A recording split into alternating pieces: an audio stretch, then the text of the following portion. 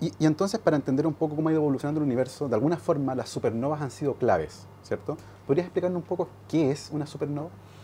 Bueno, la, supernova es una estrella que explota, que se, se, se, desintegra después de algunos millones de años, muchos millones de años de vida, eh, por, alguna, por distintas razones eh, eh, se genera una inestabilidad gravitacional.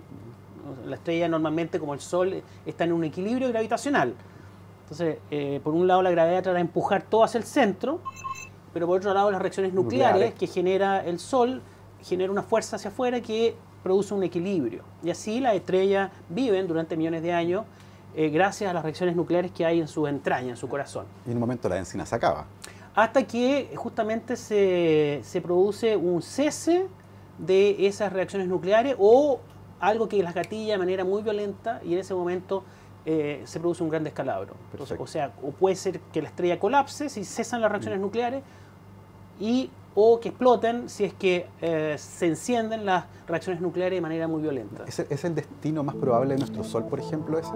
No. Yeah. No, nuestro Sol se le va a acabar el, el hidrógeno, yeah. que es el material fundamental de, con el cual parten las estrellas. Mm. Eh, lo está transformando en helio. Después va a transformar el helio en carbono. Después el carbono en oxígeno. Y en esta secuencia, que va a durar eh, 10 mil millones de años, el Sol no va a tener suficiente gravedad ni peso para estrujar ese núcleo de carbono-oxígeno y las, las, reacciones nucleares van a cesar. Y gradualmente el Sol se va a ir apagando y se va a ir enfriando y se transforma en una enana blanca. Ah, perfecto. Que es un Sol, o sea, es, como, es, es la masa del Sol, sí. pero en forma de carbono-oxígeno, pero en un volumen pequeño. Perfecto. Como el de la Tierra. Okay. Así que de manera que si tú tomas una cucharadita de, de enana blanca, vas a encontrarte ahí como eh, varias toneladas de, de, de, de, estrella. Perfecto. Oye, y sobre la historia supernova, hablemos de febrero de 1987. Mm. Yo sé que ahí pasa algo trascendental en tu carrera, ¿cierto? Comienza un proyecto en particular muy interesante cuando tú vas a Tololo, ¿no? Sí. Bueno, eh, yo tenía un magíster en física, había terminado la licenciatura en física, el magíster en física, estaba trabajando como asistente de investigación en el Observatorio de Calán, hasta mis 26 años, hasta que se abre un cupo de trabajo en Tololo. Y el director de la época, Robert, Robert Williams, eh, quiere que se incorpore un chileno al staff científico para que ayude a los astrónomos visitantes, a los que iban a Tololo, de, que venían desde Estados Unidos, a tomar datos, para ayudarlos a ellos con el procesamiento de los datos. Perfecto. Con un software nuevo que había recién llegado a Tololo eh, eh, para procesar datos digitales. La tecnología digital estaba recién llegando a los observatorios astronómicos y Tololo también la había acogido. Entonces eh, yo iba a empezar a trabajar el 1 de marzo y, y Bob Williams me llama unos, un par de semanas antes y me dice, Mario, yo tengo un turno de observación en el telescopio 4 metros, el más grande claro. de Tololo. Eh, ¿Podrías acompañarme a hacer el, al, al turno para que vayas aprendiendo? Fantástico que, que, me dicen, es como manejar así un, un Ferrari, un Ferrari ¿no? Claro. Entonces, por supuesto, así que me organicé y me, me fui a, acercando hacia La Serena, donde está la oficina de Tololo, unos días antes del 27 de febrero, paré en Tongoy donde había unos amigos que estaban de vacaciones y me recibieron en su casa. Y el día 26 de febrero, uno de ellos aparece con el diario y me dice, Mario, mira esto y aparece en primera plana la fotografía de Ian Shelton, el canadiense que trabajaba en las campanas y que había descubierto la supernova más brillante en cuatro siglos. Y salió en la portada del diario. Y salió en la portada del diario Mercurio y en, y, en, y en, todas las portadas de todos los diarios del mundo, las revistas, los, vino el canal de televisión a cubrir la noticia. Un gran evento astronómico. Era la primera oportunidad de ver, estudiar con instrumental moderno, la desintegración, la muerte de una estrella. La última vez que pasó eso, no había telescopios como los, como los que hay ahora, ¿no? No, eso fue en 1604. Antes que se descubriera el telescopio, cinco años Impresionante. antes. Así que eh, fue un, una especie de varita mágica que me tocó. Eh, llego el 27 de febrero a Tololo y, y, y Bob Williams me dice, Mario, bueno, que... cambiaron los planes. Claro. O sea, íbamos a ir al, al, telescopio más grande de Tololo, al 4 metros, ahora necesito que vayas a observar la supernova del año 87, eh, con lujo y detalle, aprovechando tu experiencia observacional, y terminé, irónicamente, trabajando en el telescopio más chico todo que es un telescopio de 40 centímetros. El descubrimiento más grande en el telescopio más pequeño. Claro, porque la supernova era tan brillante, se veía a simple vista, que prácticamente hubiese derretido un telescopio como el 4 metros. Entonces, eh, eso cambió completamente mi vida. Yo no había trabajado prácticamente en, el tema de la supernova y, era una oportunidad ineludible. ¿Ese fue el evento que marca tu carrera? Es el evento que marca, uno de los, probablemente el este evento más importante que marca mi carrera científica, no es el único. Y, y, como consecuencia de eso me dedico a estudiar supernova y hasta el día de hoy he sido bastante monotemático. ¿Estás mantenido con la supernova? Me he mantenido estudiando la supernova. De, hecho, ustedes armaron un proyecto el año 89 para empezar a hacer un mapa de supernovas y tratar de generar algún método que permitiera medir distancias en el, universo. ¿Cómo, ¿Cómo, se arma ese proyecto? Bueno, eh, dos años después del 87 ya habíamos acumulado muchos datos de la, de la famosa supernova y partimos tres astrónomos de Tololo a un workshop en la Universidad de Santa Cruz en California a mostrar nuestros resultados y a compartirlo con las observaciones que se estaban haciendo desde otro observatorio, desde Sudáfrica, desde Australia, incluso desde, con telescopios espaciales, y se junta toda la comunidad de supernoveros, llamemos, digamos, llamémoslo así coloquialmente, debe haber sido unas 70 personas, eso era toda la comunidad de gente que trabajaba. Cae una bomba ahí y se acaba la, historia de supernova en el mundo. Se acaban. Y eran, era muy interesante, había norteamericanos, por supuesto, los dueños de casa, y uno se encontraba con japoneses, y uno, uno venía de Chile del año 87 y se encontraba con japoneses que era, era, no era común. Y uno además pensaba, hacía la reflexión, pensar que esta gente estaba en la guerra mundial unos poquitos años, antes y ahora están colaborando hablando de ciencia. Qué lindo eso de la, ciencia. Y está, ah, y habían rusos, que eran más lejanos todavía para nosotros. Entonces era muy interesante esta experiencia de colaboración internacional en torno a la supernova. Y todos aportando de distintos ángulos, desde la observación, desde la teoría. El workshop duró dos semanas. Ah, fue intenso, dos semanas.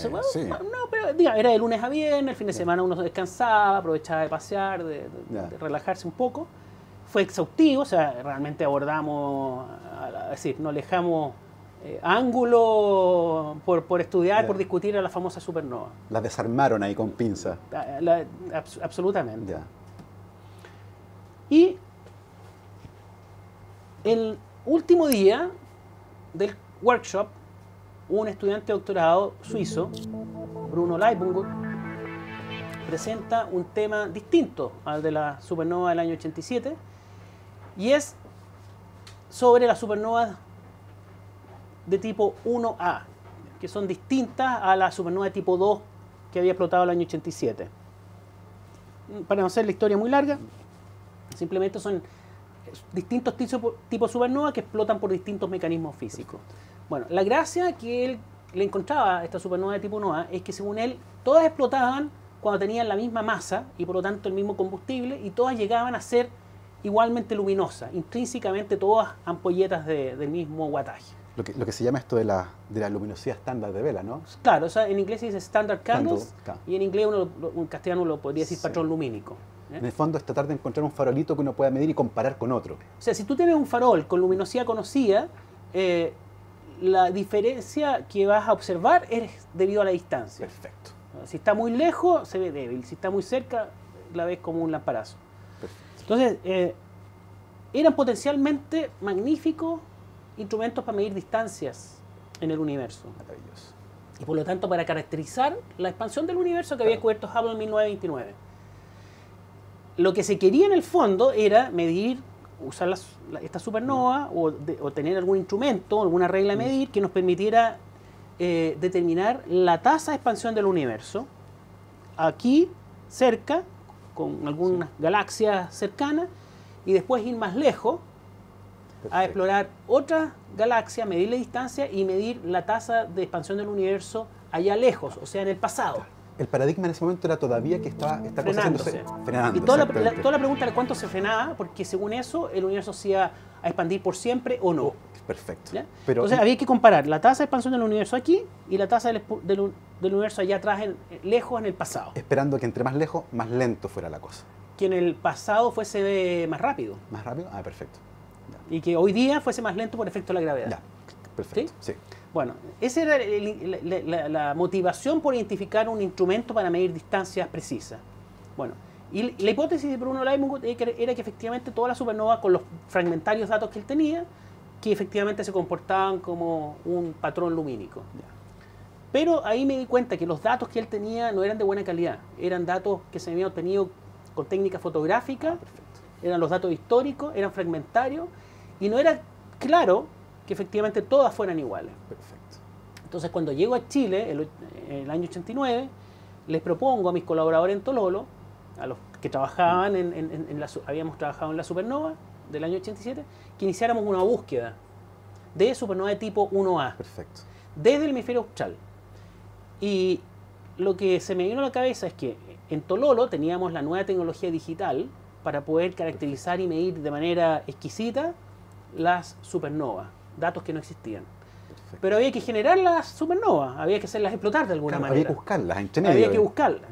Y la supernova eh, ocurre una vez por siglo, O sea, en, una, es- en una galaxia. Es una búsqueda bien, bien exhaustiva, ¿no? no, Si quieres tener chances, tienes que monitorear muchas galaxias. Entonces, ¿cómo monitoreamos muchas galaxias?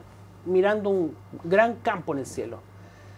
Y, eh, eh, y ahí conecto con el trabajo que estaba, había venido haciendo desde comienzos de los 80, fines de los 70, José Massa y su equipo en la Universidad de Chile. Ellos usaban un telescopio ruso que había quedado ahí instalado por los soviéticos y que arrancaron en 1973, Ah, que está aquí en el Cerro del Roble, a 70 kilómetros de Santiago. Ya. Todavía está ahí el telescopio ¿Es funcional todavía? todavía funciona, pero ya no existen las placas fotográficas con las Ah, cuales perfecto. se usaba el telescopio. Ya.